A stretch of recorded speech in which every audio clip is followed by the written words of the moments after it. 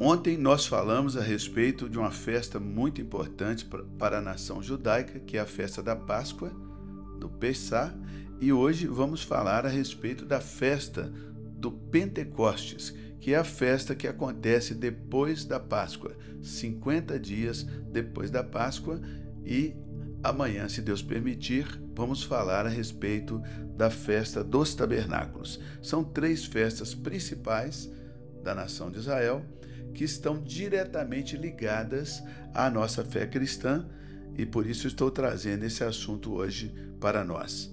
A palavra Pentecostes, na verdade, não é uma palavra hebraica, ela é uma palavra grega, né? Pentecoste, que significa quinquagésimo, referindo-se ao quinquagésimo dia após a Páscoa.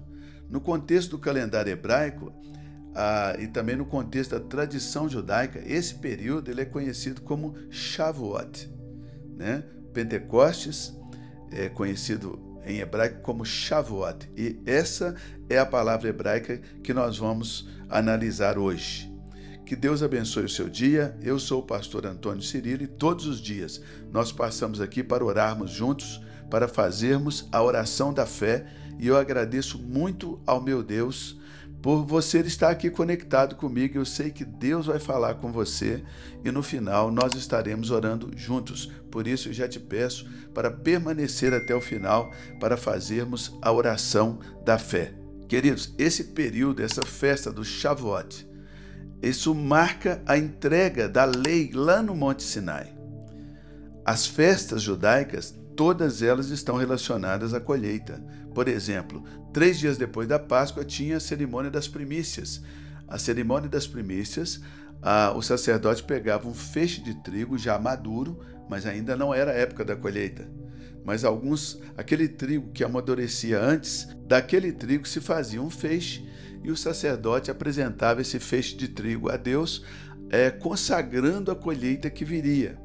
50 dias depois, na festa de Shavuot, que é a festa da, do recebimento da lei de Deus no Monte Sinai, ali também essa festa marcava o início da colheita.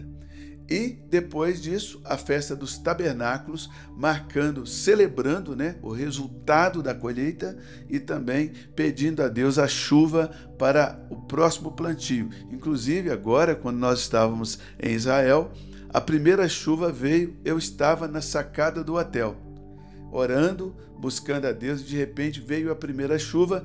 Eu até filmei e vou colocar aqui para você é, esse vídeo. Vocês vão perceber que bateu um vento muito estranho. Por que, que é muito estranho? Porque esse vento ele levantou uma poeira muito grande, uma areia muito grande e que encheu o céu de Jerusalém de areia, mas eu percebi que as árvores não estavam balançando. O vento estava em tempo de, de, levantar minha camisa, mas as árvores não estavam balançando. Eu falei, meu Deus, que mistério é esse?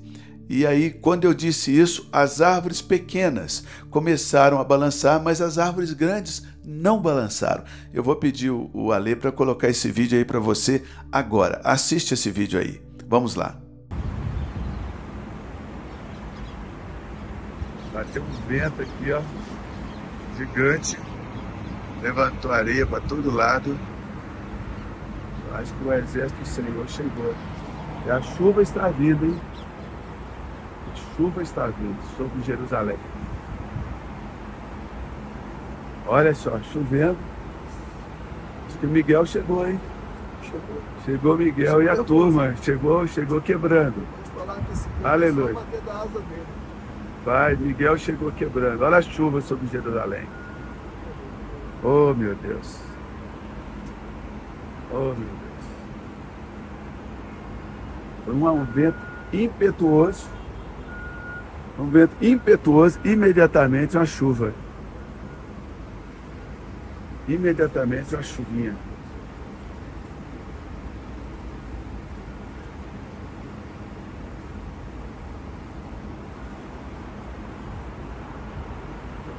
Vento impetuoso.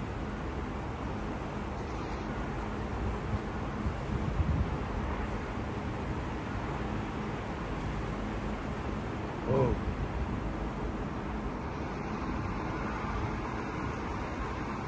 Viu aí, queridos? Nós estávamos aí no meio de uma guerra, intercedendo por Israel, clamando a Deus que enviasse Miguel, o arcanjo Miguel, que é o arcanjo de Israel. Eu até aí nesse vídeo eu começo a, a falar para as pessoas que estavam ali no quarto atrás de mim, Miguel chegou com a sua turma. Miguel chegou. Foi realmente um fenômeno isso aí. O vento forte, as árvores não balançavam. Quando eu percebi que eu questionei isso, o vento começou a balançar somente as árvores pequenas. E aí eu filmei as árvores pequenas, né, para que você pudesse ver. E no filme você viu que as árvores pequenas balançam e as grandes não balançam.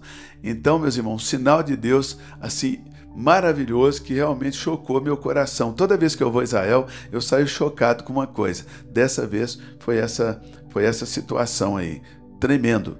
Se você não percebeu direito, assista mais uma vez e mais uma vez que você vai perceber. As árvores grandes não balançam. As pequenas também não estavam balançando, mas quando eu percebi, Deus sacudiu as pequenas, mas não sacudiu as grandes. E nisso um vento gigante levantando areia. Você viu aquele céu nublado, aquilo ali não era chuva, era areia.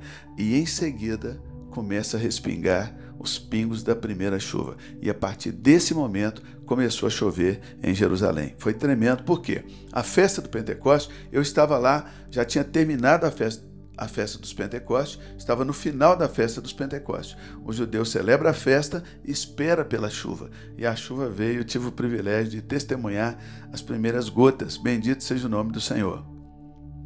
Então, recapitulando, três festas. Né? Nós temos a festa do, do Pessah, que é a Páscoa, temos o Shavuot, que é o Pentecostes, e temos também a festa da Sukkot, né? que são, significa cabanas, sukkah. É cabana no singular e Sukkot, cabanas no plural. E a gente vai falar dela no próximo estudo bíblico. Agora vamos voltar aqui. Então, reprisando, queridos, a, a festa do Shavuot, que é a Pentecostes, ele celebra, ele marca a entrega da Torá, a entrega da, dos cinco livros do Velho Testamento, os primeiros cinco livros do Velho Testamento, lá no Monte Sinai. Isso é muito importante porque é nessa festa é que o Espírito Santo é derramado, os nossos corações são marcados pelo Espírito Santo. A palavra de Deus ela é impressa em nosso coração pelo Espírito Santo e a gente vai chegar lá. Fica firme aí que a gente já vai fazer a oração da fé daqui a pouco. Porém, não existe uma palavra em hebraico equivalente a Pentecostes. Pentecostes é uma palavra grega, em hebraico Shavuot. E essa palavra Shavuot é que nós vamos analisar, porque o vocabulário hebraico ele não tem vogais, ele só tem consoantes, tá? Vamos lá. Como eu já disse aqui, repito, cada letra no alfabeto hebraico, cada letra hebraica, ela possui um significado simbólico e um significado profundo e um significado completo. A palavra Shavuot, ela é formada pelas letras hebraicas Shin, pela letra Bet, pela letra Vav, pela letra Ayin e pela letra Tav. Cada letra no hebraico tem o seu significado, né? tem o seu contexto e tem a sua completude. Essas letras, elas podem ser vistas como manifestações assim da frequência divina trazendo ensinamentos profundos sobre a natureza humana, sobre a nossa natureza e sobre a nossa relação com o mundo à nossa volta. Porque a palavra, quando ela é falada, proclamada, ela é uma frequência. Experimenta abrir a sua boca e dizer Shavuot. Shavuot.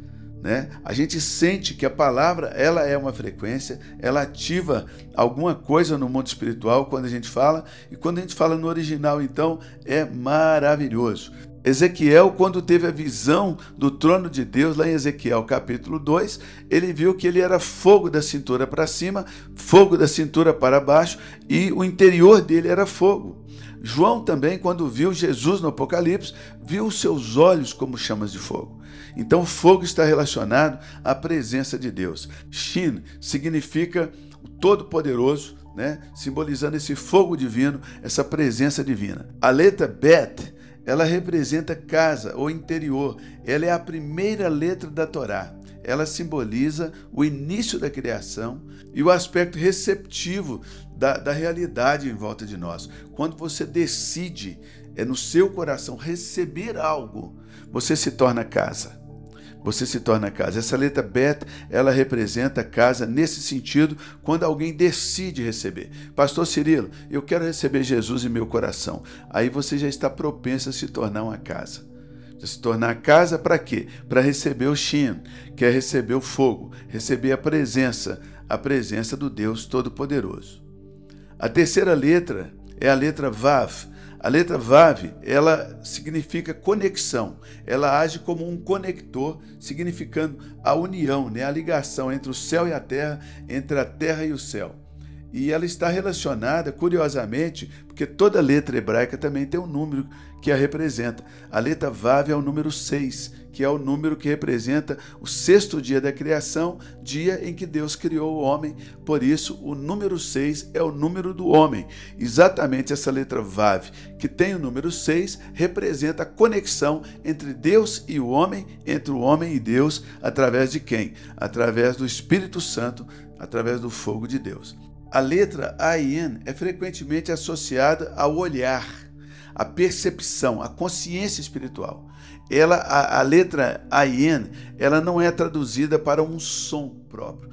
É, ela é um perfume, ela é assim, uma contemplação, é um olhar é quando você, sem falar nenhuma palavra ou sem ouvir nenhuma palavra, você aguça o seu sentido, aguça a sua percepção, aguça o seu olhar espiritual, a sua consciência espiritual, e aí Deus fala com você sem usar nenhuma palavra.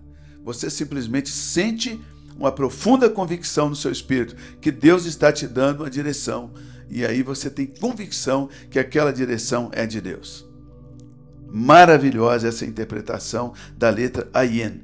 A letra Tav, a letra Tav, ela representa a verdade e também representa a perfeição. Então, fazendo uma, uma junta tudo aqui, olha só. A palavra Shavuot é uma festividade, como eu disse, que celebra a entrega da Torá no Monte Sinai.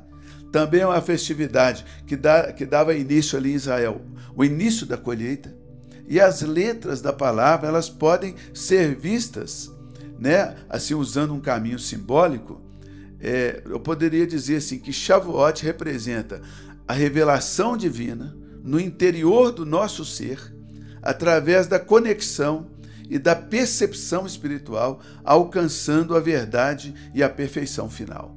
Aleluia! Shei! Camoça, Vari! Oh, Shei Marassobenas! Oh, glória Adonai. Shei. Oh, Ruach Hakodesh. Que presença de Deus encheu o meu quarto. Hoje eu estou em Lagoa Santa, município de Minas Gerais, aqui na Grande BH.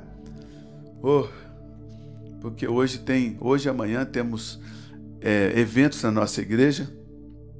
E o meu quarto aqui ficou cheio da glória de Deus. Eu vou falar isso de novo, olha só. Shavuot.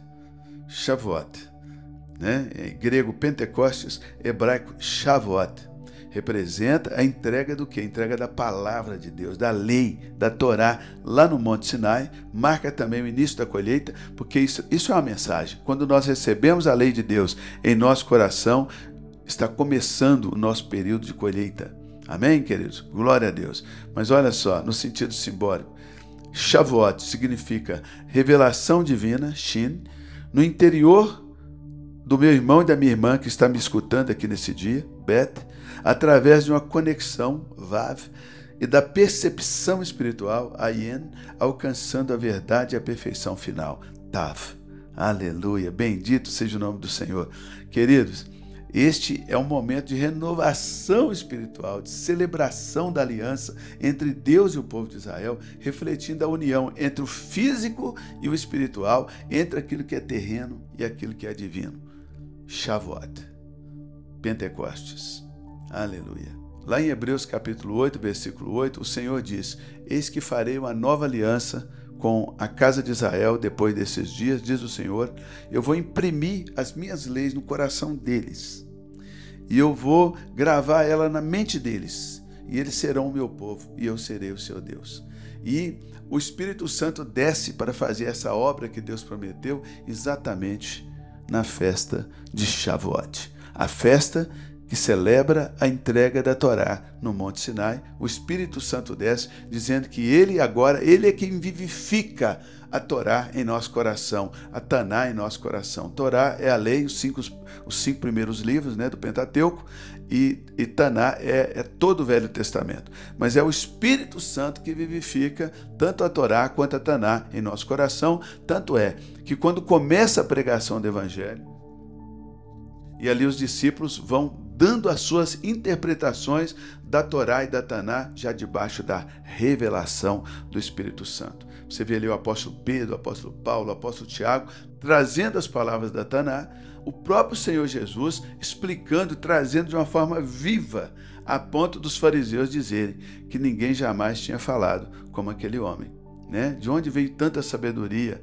De onde veio tanta sabedoria naqueles pescadores iletrados? Veio do Espírito Santo, né? porque na festa do Shavuot é a festa da celebração, da entrega da palavra, e no caso do nosso Novo Testamento, da nossa vida agora com Deus, é marca a festa de Shavuot marca o Espírito Santo descendo sobre as nossas vidas para vivificar a palavra de Deus em nosso coração. E eu quero deixar aqui plantado em seu coração alguns versículos da palavra relacionados a cada uma das letras para gerar fé, criar uma plataforma de fé no seu coração. Shin, presença divina, transformação, né? Significa também transformação. Salmo 84, 11, abre aspas. Porque o Senhor Deus é sol e escudo. O Senhor dará graça e glória, e não negará bem algum aos que andam na retidão. Fecha aspas. Bet, início, internalidade. Provérbios 4, 23. Abre aspas. Sobretudo o que se deve guardar, guarda o coração, porque dele procedem as fontes de vida. Fecha aspas. E agora vamos ler o texto da palavra Vav, que eu quero plantar no seu coração. Porém, antes de ler, quero te pedir para se inscrever aqui no meu canal. Você já sabe que a inscrição é gratuita, você sabe que é só clicar no botão vermelho, no sininho e na palavra todas. A inscrição é gratuita, o conteúdo é gratuito porque ele é patrocinado. Por quem?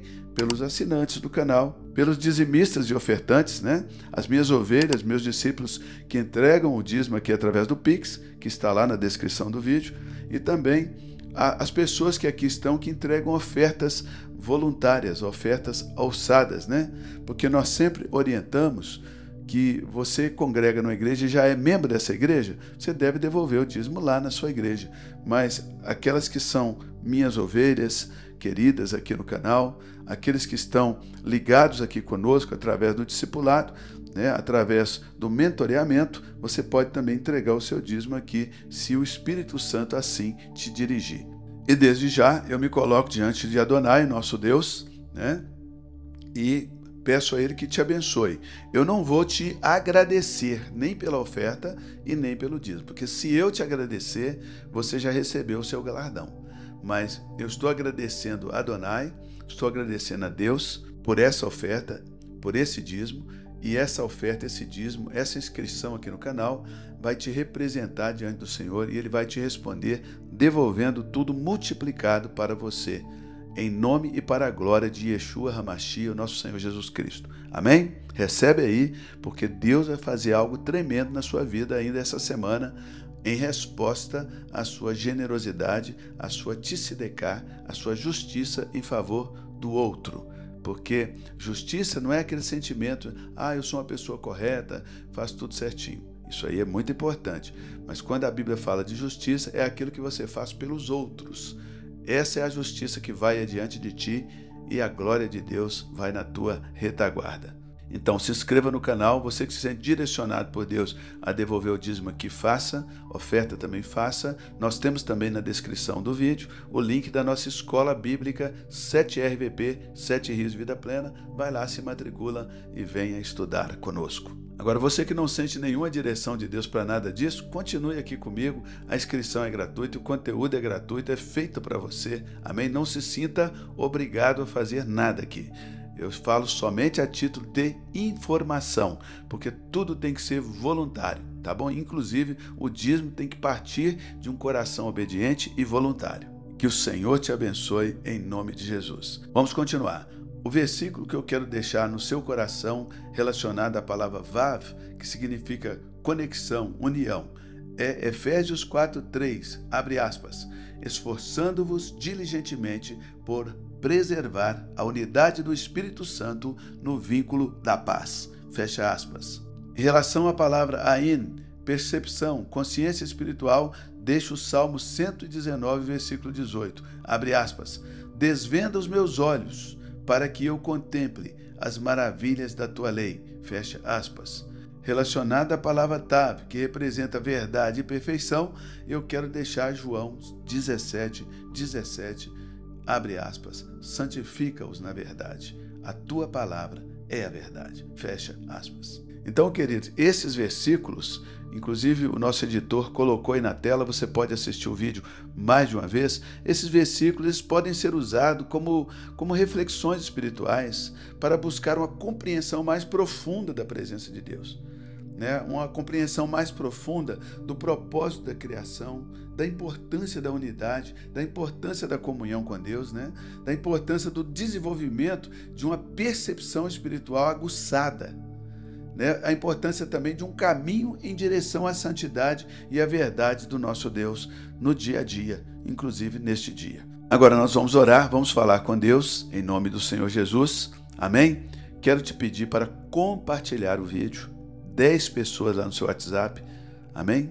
Manda para 10 pessoas. Não se esqueça de curtir o vídeo. Aperta o joinha aí agora para gente, tá? Não custa nada e para nós é uma benção e me ajude nos comentários a responder às pessoas.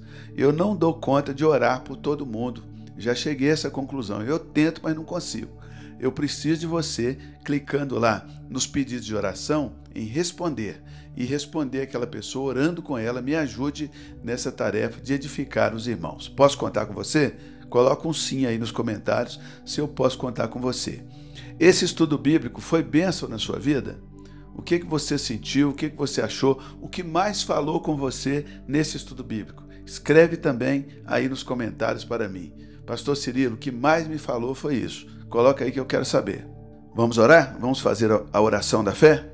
Pai Celestial, aleluia, Adonai, Deus Santo, maravilhoso, em nome do Senhor Jesus Cristo, em nome de Yeshua, nós chegamos na tua presença no poder do Espírito Santo, Ruach HaKodesh, aqui falando sobre o Shavuot, falando, meu Deus, do, da festa que comemora, Shei, a entrada da sua lei neste mundo, a entrada da tua palavra neste mundo.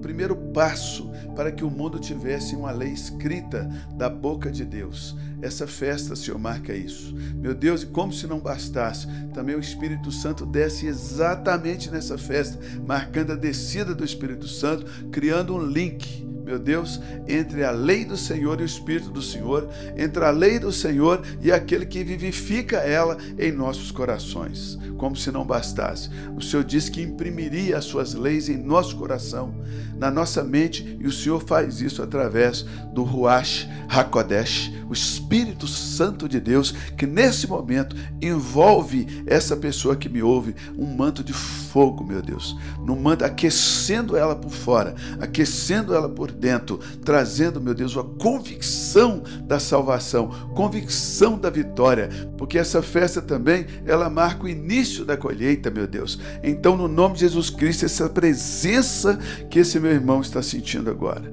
meu Deus, isso aí marca, Senhor, a vida dele, a vida dela, dizendo que a colheita já está pronta, a seara está pronta para ser colhida.